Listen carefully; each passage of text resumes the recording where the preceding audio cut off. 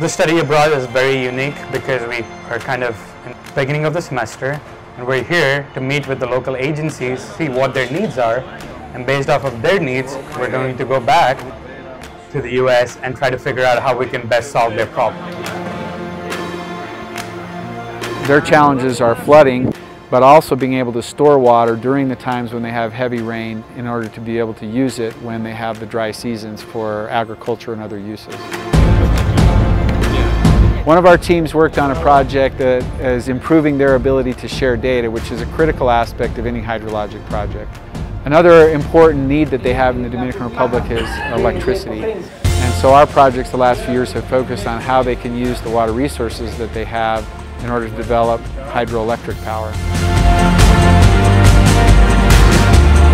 One of the main challenges that we face here in the DR with water resources is the management of water. We don't know how much water we have and how much water we're using.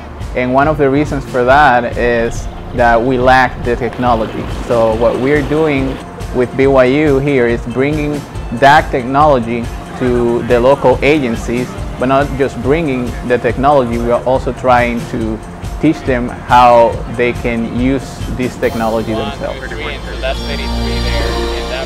I am actually originally from the Dominican Republic, so for me to come back here, it's been a great experience and I just think it's great that I get the opportunity to apply what I've learned, what I've when um, while I've been in the United States and come here and use it to help my people.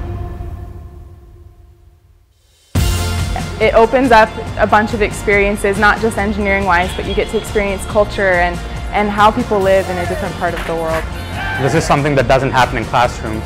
And study abroad is a great way, especially for engineers, to take the things that we learn in the classroom and get it going in the real world. This capstone project not only helps students finalize their education, but move beyond that and serve the people in the Dominican Republic with the skills that they've learned.